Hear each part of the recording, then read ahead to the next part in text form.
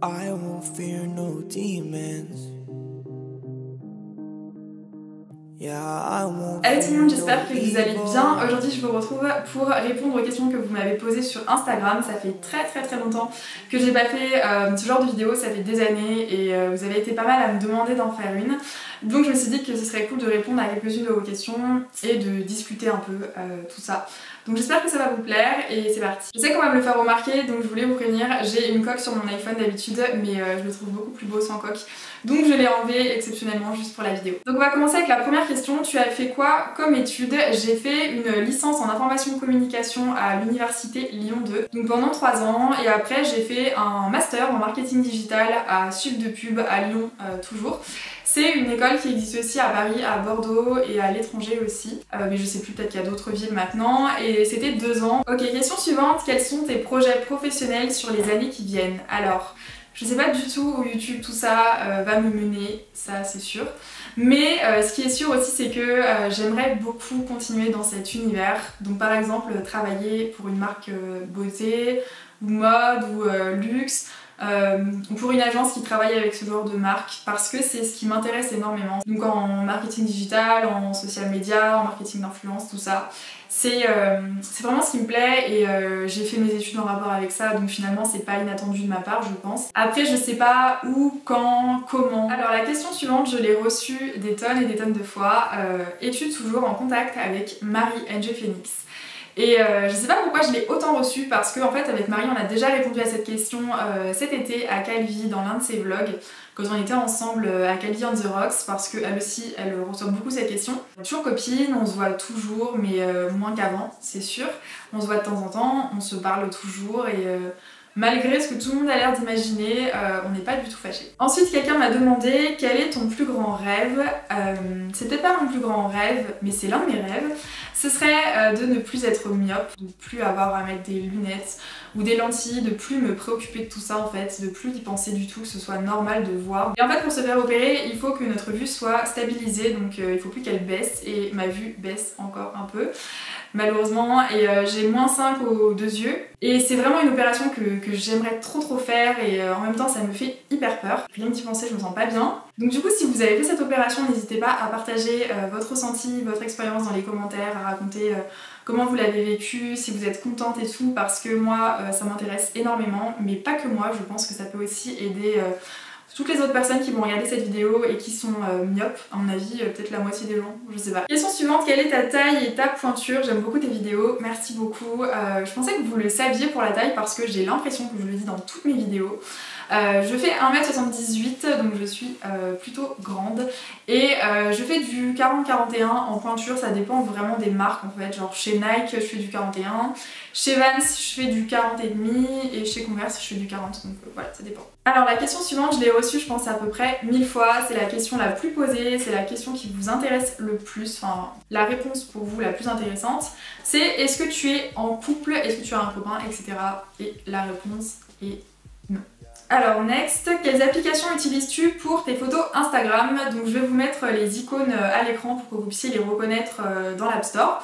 Donc j'utilise principalement euh, Lightroom, j'utilise VSCO, Afterlight, Afterlight 2, euh, j'utilise Facetune comme tout le monde je pense, mais euh, quand il y a quelque chose qui me dérange dans ma photo, je préfère carrément utiliser Photoshop en fait, c'est beaucoup plus précis, mais euh, Facetune c'est cool, ça dépanne.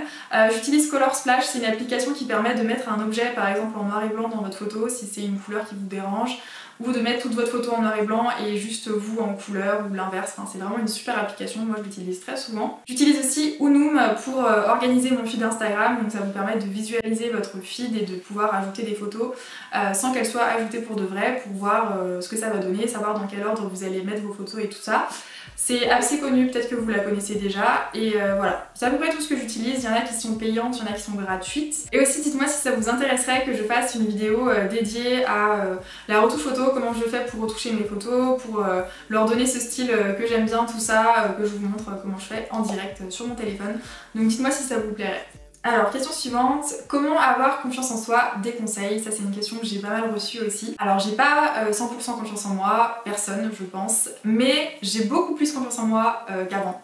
Et j'ai un vrai conseil à vous donner, c'est de sortir le plus souvent possible de votre zone de confort. En fait, c'est dire oui à toutes ces situations, toutes ces opportunités, toutes ces expériences qui s'offrent à vous et qui vous font peur, euh, qui vous effraient, qui vous stressent, auxquelles vous n'avez pas envie de vous confronter parce que vous vous sentez pas capable, parce que vous vous sentez pas à la hauteur, parce que c'est l'inconnu, etc. Mais en fait, c'est vraiment ça qui va vous faire avancer. Si jamais vous dites toujours non à ces choses-là, euh, vous n'allez pas évoluer. En fait, je vous mets au défi de dire oui à une chose par semaine à laquelle vous auriez dit non euh, en théorie et je pense que vous allez voir la différence assez rapidement. Alors ensuite, c'est une question qui fâche un peu. As-tu le permis de conduire? Gros bisous. Alors non, je n'ai pas le permis de conduire parce que j'arrive pas du tout à me motiver depuis des années et des années. Je regrette tellement de ne pas l'avoir passé quand j'avais 18 ans, ça aurait été beaucoup plus facile, ça aurait été réglé. Je vous conseille vraiment de le passer le plus vite possible parce que là, euh, j'ai 25 ans, j'ai laissé traîner pendant des années et maintenant, j'arrive plus du tout à me motiver.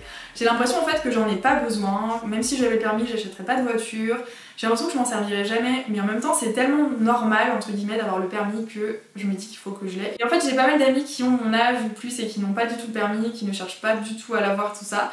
Du coup, je me sens un peu moins seule, ça me rassure et en même temps, j'aimerais bien passer quand même, ce serait cool de l'avoir. N'hésitez pas à me dire dans les commentaires si vous avez des conseils pour se motiver pour le permis ou si vous étiez dans ma situation et vous en êtes sorti ou si vous êtes dans ma situation tout simplement, comme ça on pourra se soutenir. J'ai reçu pas mal de questions comme ça, donc la question c'est est-ce que ton opération t'a aidé à te sentir mieux dans ta peau C'est du coup une question à propos de ma rhinoplastie, donc c'est euh, l'opération du nez que j'ai fait euh, l'année dernière en octobre.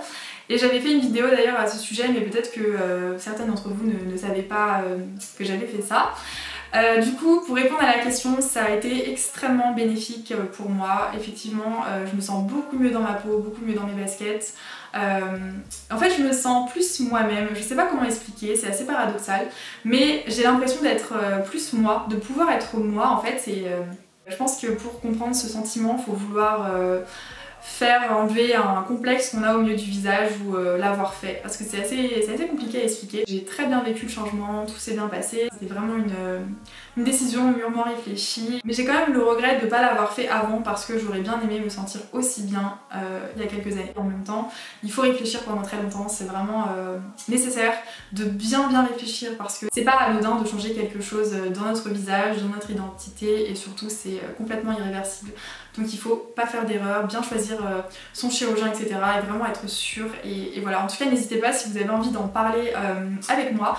J'en parle avec plein d'entre vous euh, par mail, donc mon mail est en, description ou alors en DM Insta. N'hésitez pas à m'écrire si vous avez des questions. Dernière question de la vidéo, c'est quelles sont tes destinations de rêve? Alors déjà, j'aimerais énormément retourner à New York. J'y suis allée l'année dernière, non l'année d'avant, l'année d'avant, et je suis restée que 4 jours. C'était vraiment trop peu pour pour visiter, pour euh, tout voir, tout faire, mais c'était déjà euh, assez pour euh, adorer la ville. Franchement, j'ai adoré, j'aimerais trop y retourner.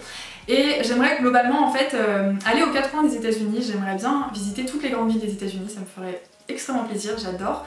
Et sinon, j'aimerais bien aller au Japon, j'aimerais bien aller en Corée du Sud aussi et le Canada ça me plairait bien aussi, je pense que c'est déjà pas mal. Donc voilà, c'est la fin de cette vidéo, j'espère que ça vous a plu, j'espère que vous me connaissez un petit peu mieux et surtout j'espère que j'ai répondu à vos questions. Je pense que je ferai ça un petit peu plus souvent sur Insta Story, là j'avais envie d'en faire une vidéo mais euh, je le ferai plus souvent je pense. Et voilà, en tout cas je vous fais plein de gros bisous et je vous retrouve bientôt pour une prochaine vidéo.